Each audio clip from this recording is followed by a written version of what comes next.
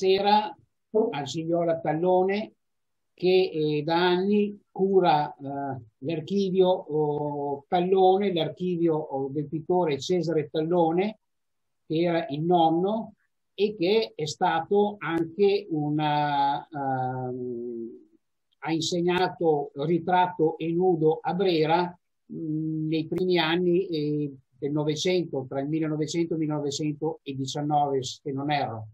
E, e quindi com'è che è cominciata questa avventura di occuparsi della, uh, dell'esperienza e delle vicende eh, del nonno, del nonno Cesare? Eh, io mi, mi sono fatta archivista Uh, per necessità, devo dire, eh, perché mh, di Cesare Dell'One ci si era dimenticati da un pezzo ha avuto una magnifica, una magnifica storia artistica in vita, ha avuto una bellissima, importante mostra a cui hanno collaborato tutti i professori, tutti gli allievi, tutti i colleghi più importanti dell'epoca, nel 1921, due anni dalla morte all'Accademia di Brera.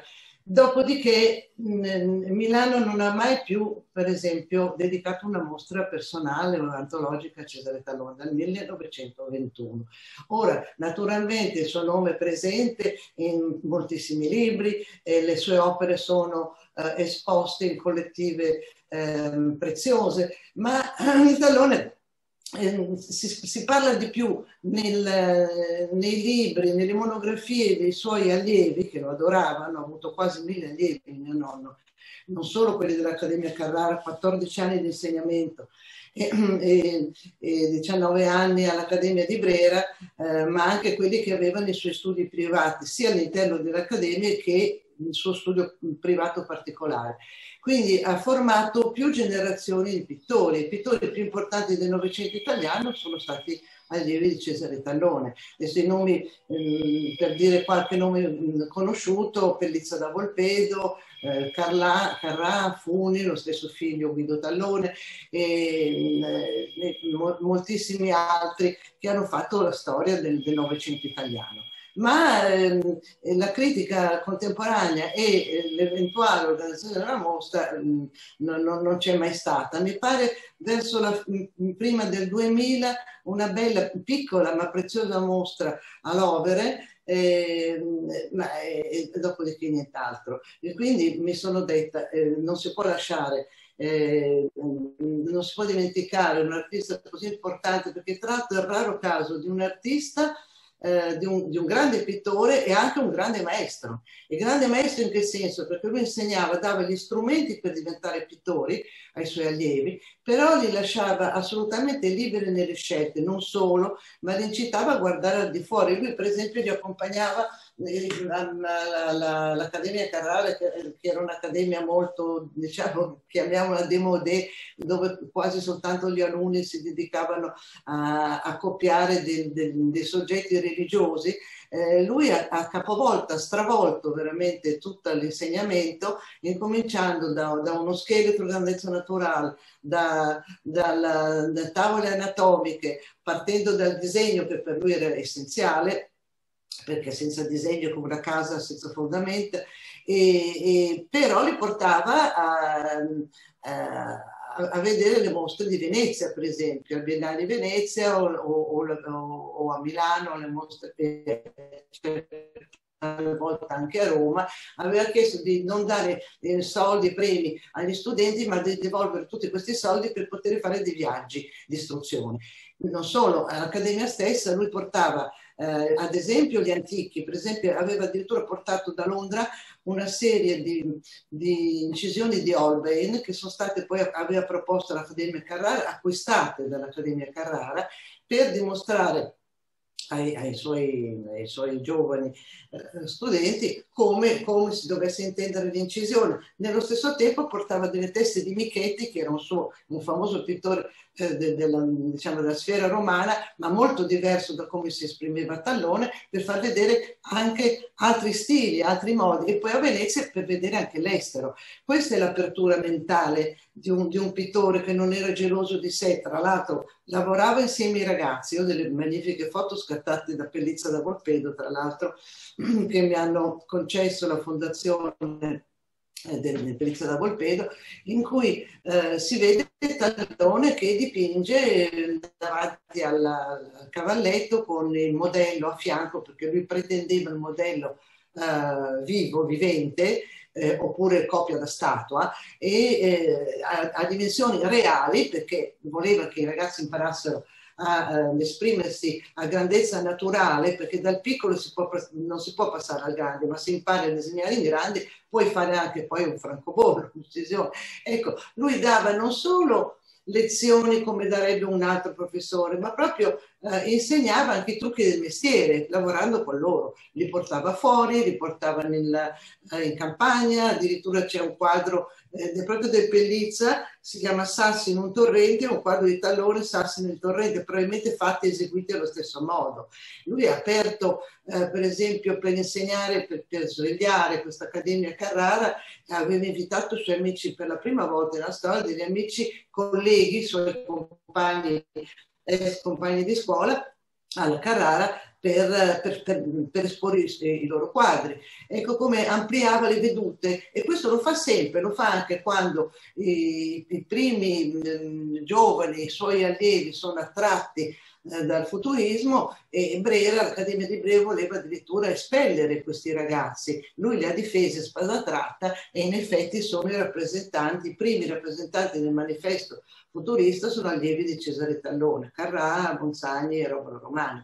E in casa Tallone, dove era, che era aperta da, da, a tutti, a tutti, sia i suoi colleghi, sia ma anche di altra estrazione, non solo pittori, ma anche musicisti, poeti e arrivavano anche tutti i ragazzi, così potevano conoscere e scambiare idee con, con altri, eh, con altri esponenti della, eh, del, dell'arte. Insomma, un modo di, di, di vivere l'arte assolutamente a tutto, a tutto tondo. E per lui l'arte, la pittura era definita la, la, terribile arte, perché la pittura è terribile se, se ti vuoi applicare. Lui a 12 anni, eh, quando eh, orfano, è cominciato, è tornato da Parma a, a, ad Alessandria, che la, il papà era pinerolese ma la mamma era di Alessandria, con le tre sorelle, la mamma diventa il capofamiglia. Lui va in una, eh, in una bottega di, di, questo Annibale Motti, che era un, un, incisore rinomato di Alessandria, e Tallone in pochi mesi diventa il migliore di tutti i suoi, tutti i suoi assistenti. A 14 anni diventa prima assistente, poi aiuto, prima insomma Garzone si dice, poi aiuto del pittore Pietro Sassi e lo segue per ville e palazzi dell'Alessandrino e Savonese, eh, dipingendo prima gli spolveri e poi dipingendo addirittura fresco. Ecco come si è fatto le ossa. Cioè Tallone quando è entrato all'Accademia di Brera già sapeva dipingere, aveva fatto i primi ritratti, ma si sentiva come dire limitato dal fatto di non aver avuto un'educazione però di tipo accademico, specialmente riferendosi a Milano, che lui, mm, eh, non solo lui, si riteneva la migliore accademia d'Italia.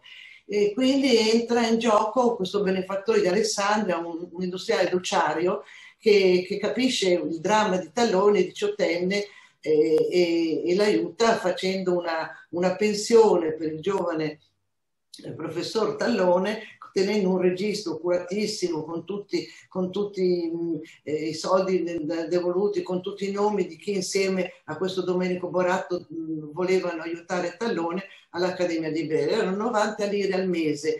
90 lire al mese, non saprei dire adesso che, che valore potrebbero avere, e di cui Tallone accusava sempre ricevuta e, e, e, ha sempre dimostrato un'enorme riconoscenza. E questo anche quando diventa addirittura eh, moltissimi anni dopo, io parlo del 1872 quando avviene questo ingresso suo all'Accademia di Brera e nel 1999, insomma quando vince il concorso della cattedra che era stato del suo maestro eh, Giuseppe Bertini, la prima cosa che fa è scrivere al figlio di Domenico Boratto della riconoscenza a questo suo paterno eh, e a tutti gli altri anche eh, benefattori che gli avevano consentito di andare. Quindi aveva questo, il merito di avere una grande riconoscenza per tutti, era modesto eh, Cesare Tallone, orgoglioso perché sapeva benissimo di valere l'arte e è stato sempre il primo. Per esempio, in due lettere che abbiamo di Giuseppe Bertini, che ha avuto un lunghissimo eh, diciamo, eh, periodo, credo forse 40 anni di insegnamento, ha detto che uno dei migliori allievi che avessi mai avuto è stato Cesare Tallone e lo aiuta, aiuta molto Tallone. Tra l'altro lo presenta all'AIEZ e l'AIEZ presta il suo studio a Tallone per l'esecuzione di un enorme quadro storico che per Tallone era il senso di riconoscenza. La storia di questo quadro, proprio prima accennavi anche che insegnavano come passare dal piccolo al grande, cioè di occuparsi anche di opere grandi. Qual è stata l'opera più grande che ha fatto? Ospite? Ma io penso. Ti dirò, non solo, è stato l'unico quadro storico, prima c'erano dei progetti per questo quadro, mai eseguito in sua vita, perché Tallone non ha mai fatto un quadro di genere, di qualche genere intendo, il genere pietistico che tanto andava di moda, nei post impressionisti, il genere eh, guerresco, il genere storico. No, questa è stata una riconoscenza verso il suo maestro Bertini. Bisogna ricordare che Giuseppe Bertini era anche il direttore della Pinacoteca di Brera, era un uomo coltissimo e preparatissimo dell'antichità e Tallone gli dà il merito di avergli fatto amare l'antico. In effetti la pittura di Tallone che cos'è? è la, la, la ricerca plastica della, del, dello, del 400 italiano e poi la modernità e della pennellata, la disinvoltura, l'allontanarsi da qualsiasi lecatura del neoclassicismo. Quindi Tallone vede da un lato la scapigliatura, nel senso di questa libertà assoluta e dall'altro eh, il rigore invece de, degli, degli, antichi maestri. Lui lo diceva, lo, lo, scrive anche spesso Carrà nelle sue memorie, dice Talone, la lezione di Talone era quella, tant'è che quando Carrà lascia il futurismo e dopo la guerra, come in effetti è finito dopo la guerra, ma insomma lui cambia e va verso questa pittura ricordando il 400 italiano, questa pittura semplificata, diciamo, ma plastica, ricorda che il merito di Tallone, che Tallone ci diceva il, i pittori moderni hanno dimenticato il senso plastico dei nostri antichi del 400. Ecco che la lezione eh, era mm, un modo di, di, di vivere l'arte insieme ai suoi allievi, la lezione di Tallone. Senza, perciò ritornando a questo quadro enorme, 6 metri per più di tre, su quasi 6 metri per tre.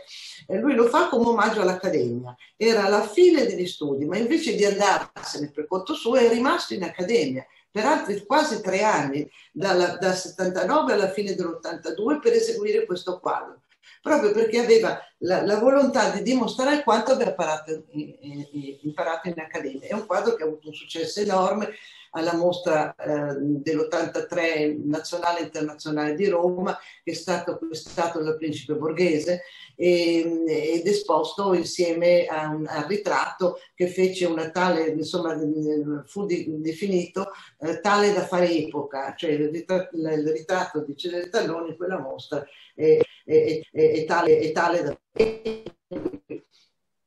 Cosa fa?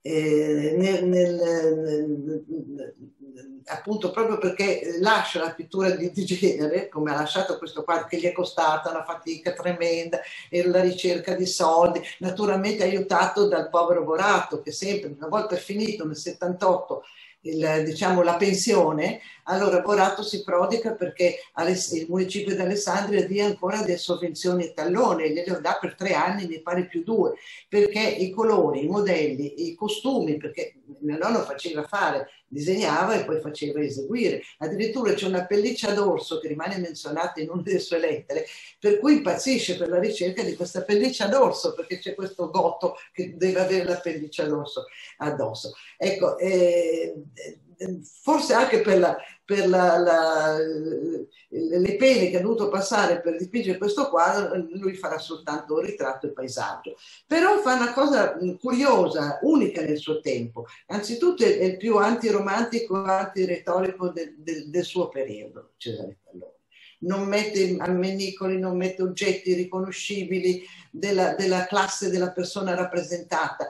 E lo sfondo è soltanto a scopo luministico, difficilmente, tranne rarissimi quadri, noi vediamo un'ambientazione del, del soggetto, a lui interessa soltanto appunto la, questo col forte chiaroscuro, l'energia plastica del soggetto e anche l'energia però psicologica del soggetto, perché lui a parte la, la somiglianza straordinario eh, trovare la somiglianza e lui voleva far vedere, far uscire eh, la persona, la realtà di questa persona che, che ha. Quindi lui toglie tutto quello che è superfluo dal ritratto e toglie la figura dal paesaggio. Cioè non esiste, un, mi pare uno del 78, antichissimo, c'è una figurina, lui fa il paesaggio. Perché? Perché sempre quella è la ricerca plastica. In un periodo in cui si parla di divisionismo, di futurismo, di simbolismo, per esempio, col, Previati, eccetera, lui no, rimane fedele a se stesso. Lui vuole, mh, mm, eh, pensa che l'energia della realtà eh, superi qualunque altro tipo di discorso, di discorso anche intellettuale. Attenzione, perché lui si è messo contro molta critica, perché diceva che i critici sono fatti per i salotti intellettuali, ma è un quadro che parla del pittore. E siccome lui l'ha detto, a toni molto alti alla mostra di Venezia e c'era vicino lo Ieti, quello l'ha, l'ha proprio l'ha, preso, l'ha presa malissimo e non ha mai più parlato di Cesare Talloni. Qui parlo quando nel 1906-1907. Quindi era un uomo che non si faceva uh, fermare da nessuno, non gli portava quello che si, si pensasse di lui, lui faceva il suo mestiere, perché l'arte è mestiere prima, perché tu hai un talento e se non hai talento non puoi diventare pittore, ma se non sei pittore. Quello succede poi, lui temeva che col futurismo, e lo diceva ai suoi allievi, attenzione, non fatevi attrarre da qualcosa che non sentite veramente, perché rischiate di perdere poi invece quello che avete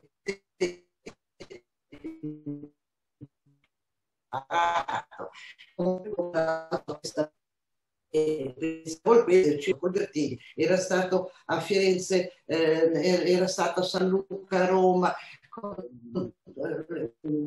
grandissimi professori, però lui aveva visto i quadri che non può raggiungere con la pittura d'impasto. Poi è chiaro che, che lo stesso Pellizza si volte verso parte simbolismo e parte divisionismo, però se io non avessi imparato il forte disegno e la maschia pittura da tallone non avrei potuto fare niente, nient'altro. Quindi capisci, lo, è lo strumento della pittura, il senso di un professore che dedica ai suoi allievi quanto lui ha imparato, no? quanto lui ha imparato durante la sua, da, fino a, a quando insegna, da notare che lui aveva 32 anni quando insegna all'Accademia Carrara, quando vince il concorso e lo vince contro, contro mh, pittori molto noti.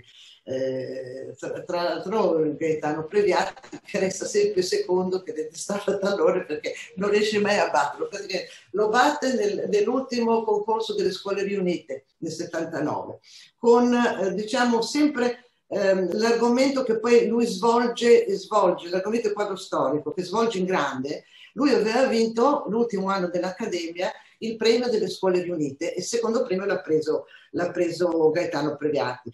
Perché il quadro si chiamava Una pia donzella difende dalla rapacità di un goto eh, le sacre eh, affidate a, alle sue mani. Insomma, questo veniva da un libro del Gregorovus della Roma del, del Medioevo. E dopo lui vuole ingrandire questa, questa, eh, questo, questo, tema e, e, lo fa in quel quadro enorme. Ma una cosa curiosa, Giancarlo, perché io vorrei che lo sapessero i giovani adesso, tu pensa com'erano, com'erano eh, questi concorsi. Allora, venivano estratti a sorte te- dei temi, c'erano cinque temi, non so, proposti dall'AIET, tre temi da Albertini, estratti a sorte. Si leggevano ai concorrenti che erano arrivati finalisti, in questo caso era Tallone Previati, e, e un altro che adesso in questo momento non ricordo. Ehm, ai ragazzi, I ragazzi venivano, veniva letto il tema, da notare, non fatto vedere niente, letto il tema, venivano chiusi a chiave separatamente in tre stanze, eh, con una guardia fuori. Le prime otto ore dovevano progettare, eh, gettare, diciamo, eh, terminare proprio la bozza e altri tre giorni, sempre passate quante ore volessero, sempre chiusi dentro a chiave per, per terminare lavoro. Ecco, pensa alla difficoltà. Tu immagina, io ti dico, Uh, non, non, lo so, Cesare, lo, lo, già questa è una cosa che già conosciamo di più, eh, l'assassinio di, di Cesare.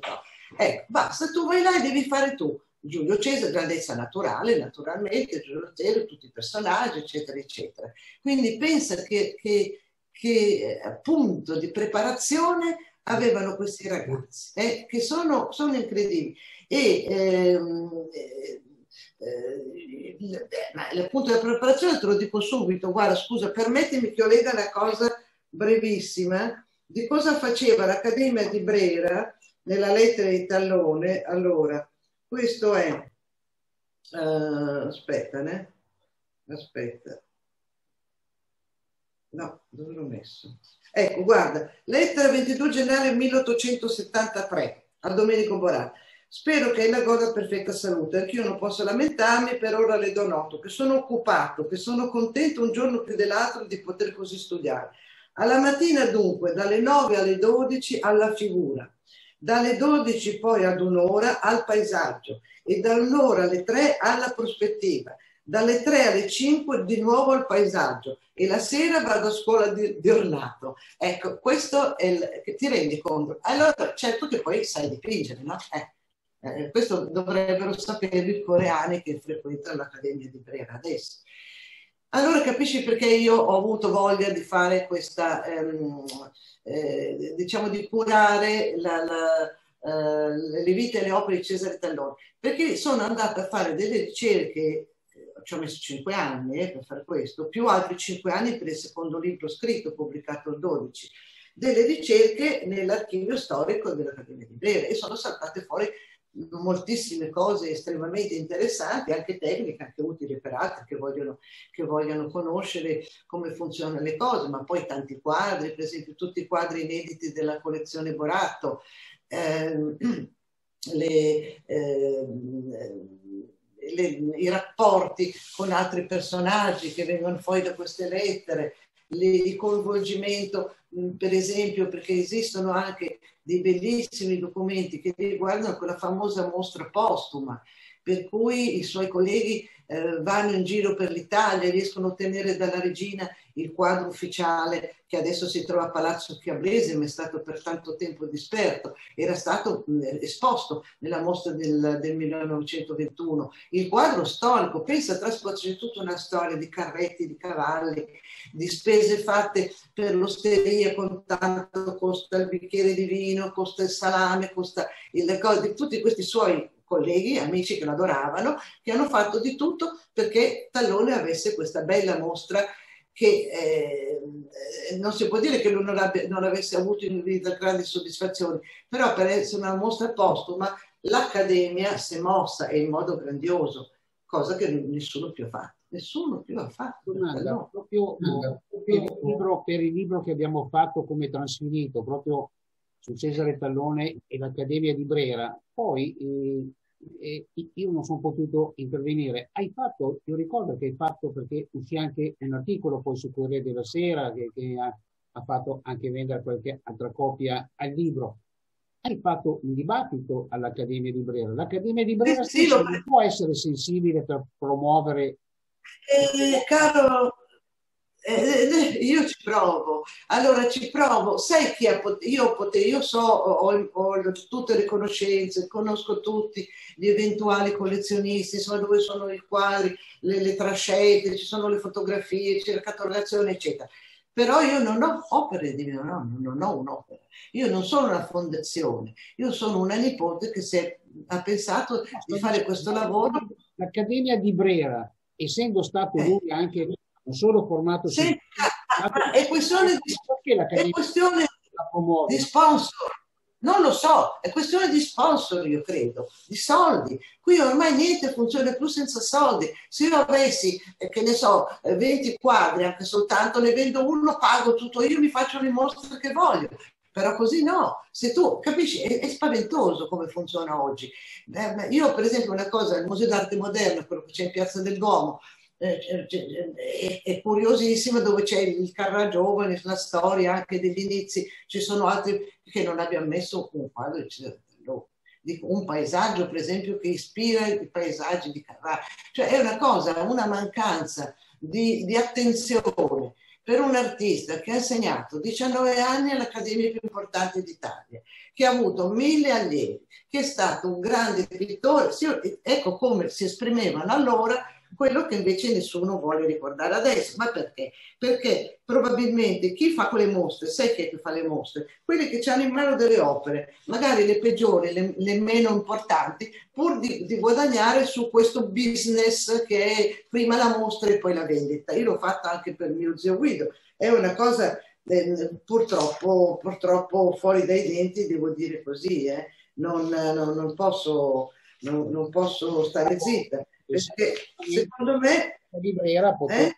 poteva essere promotrice di questo, ma è un ingegno. Ma certo, ma certo, adesso c'è solo un quadro che tra l'altro l'hanno restaurato, messo lì, che forse è l'unica volta che io mi sono confusa perché ho detto no, ma non è questo, ma in realtà perché l'hanno restaurato questo, ma ha condiviso con me anche il professor Rosa dell'archivio Sto, l'hanno ripulito talmente bene che sembra nuovo. Ora, quando si fa un restauro, ragazzi, bisogna anche stare attenti a che, a che, a che tipo di restauro si fa. Comunque un bel quadro, un bel quadro, vabbè, e che sono tornata dopo un anno, già non era più esposto, insomma, non, io non ho, non ho parole.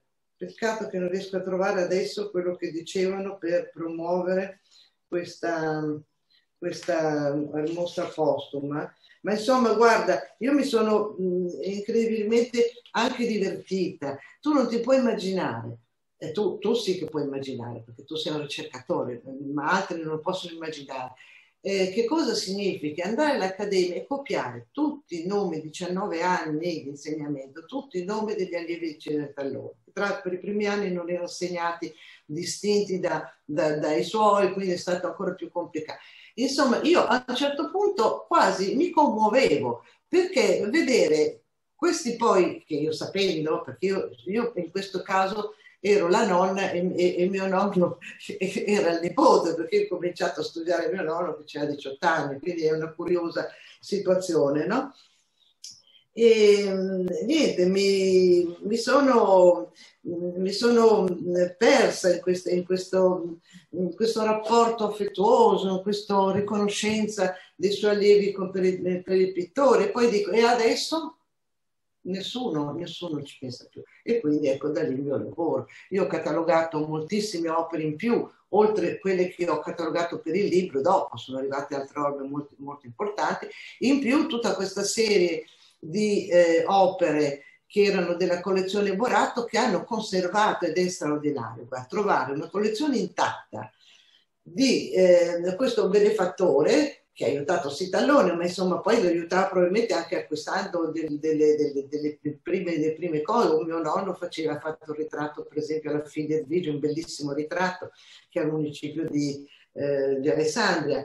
E, insomma, vedere queste immagini, moltissimi inediti, per esempio scoprire addirittura pre- la prima volta che Tallone nel 1877 espone alla mostra annuale di Brera, che era molto importante perché tu sei allievo al primo anno della scuola di pittura, perché prima c'era paesaggio, disegno, e eh, espongono un suo quadro perché aveva vinto un, un premio finale, e, ed è all'interno della, della eh, della Chiesa delle Grazie, della sacrestia della Chiesa delle Grazie. E io questo quadro l'ho trovato dal Boratto e, e, altre cose, altri disegni, eccetera, che possono risalire cose che non esistevano prima di me. Nessuno, per esempio, sono andata, ho, ho saputo da una lettera di Tallone all'Accademia Carrara che lui aveva ritratto Re Umberto, Re Umberto appena salito al trono e, e nel 1879 ha regalato per riconoscenza al, al municipio di, di, Alessandria questo quadro a grandezza naturale.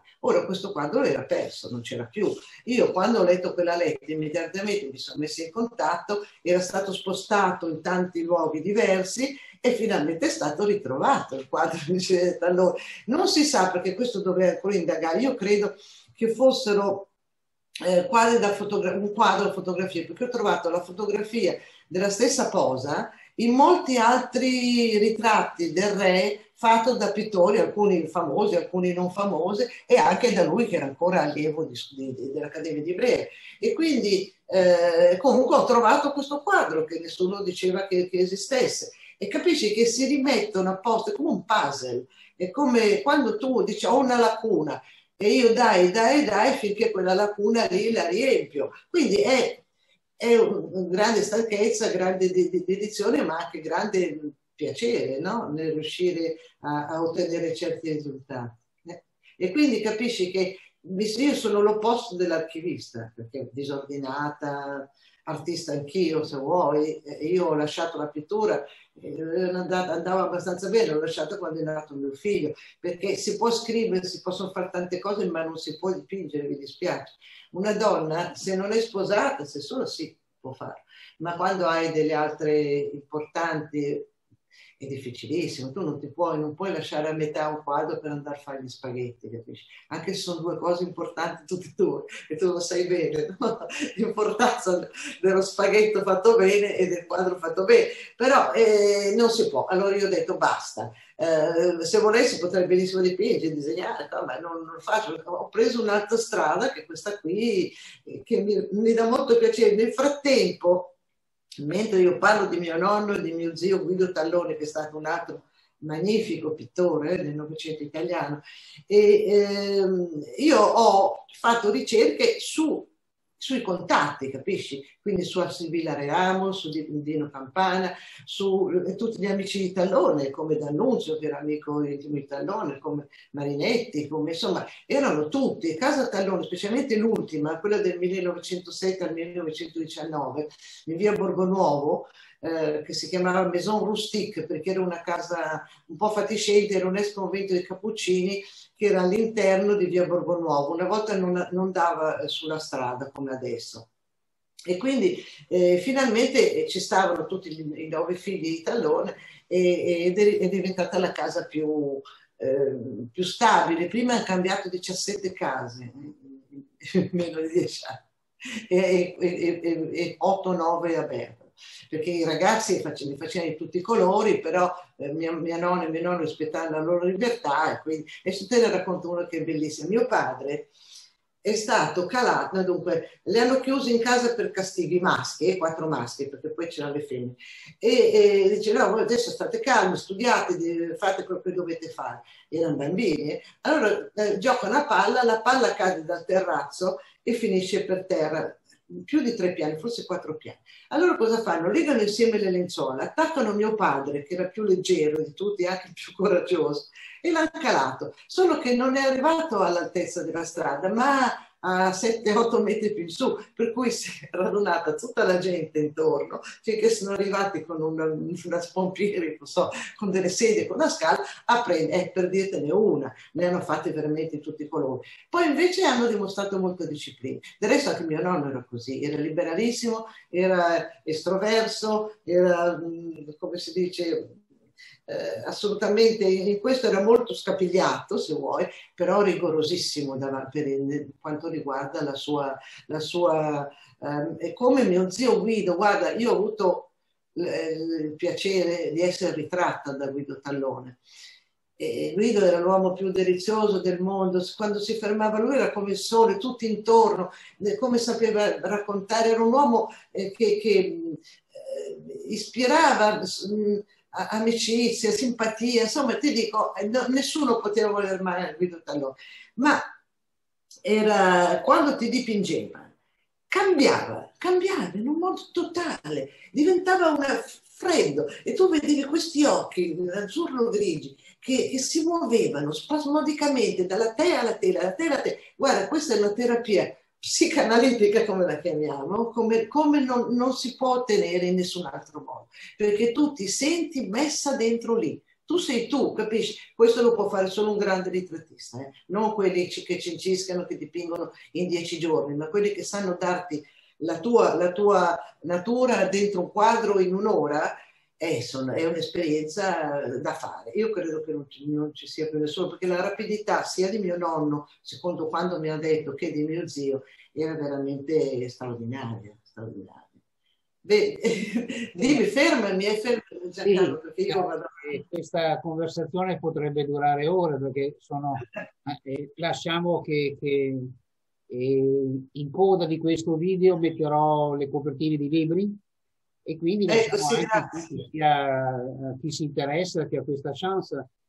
È stata eh, per me è stato un uh, bellissimo viaggio e a modo mio ho anche capito no, che eh, forse l'handicap eh, della ripresa, eh, della, della, notorietà e del lavoro che ha fatto eh, è dovuto sia a una coincidenza storica, no? che è nello stesso momento che nasce, nasce a cavallo proprio della sua pratica di insegnamento eh, non solo il futurismo, ma l'astrattismo che eh, eh, lascia, come dire, eh, è successo anche eh, con delle religioni questo, cioè quello che viene prima è considerato fossile, per dirla in modo, eh, come dire, volgare quasi, e invece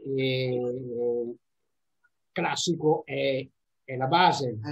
anche chi... È, il, è sempre stato così anche Morelli, i napoletani, eccetera. Quando si vuole dare eh, una mossa, diciamo, eh, risvegliare la pittura contemporanea, si deve guardare al passato. L'hanno fatto tutti i grandi artisti e l'ha fatto Cesare Tallone. Sì. Molto bello. Allora eh, io ringrazio eh, Gigliola Tallone per questa bellissima intervista. Mi scuso con i lettori, c'è stato un momento in cui la connessione non ha funzionato bene, ma eh, non, ho lasciato come dire che si ripristinasse piuttosto che intervenire, tagliare eccetera non dura moltissimo poi per il resto l'intervista eh, dire, è stata registrata bene grazie bene. Gio Ratellone ciao a tutti ciao Giancarlo grazie a te.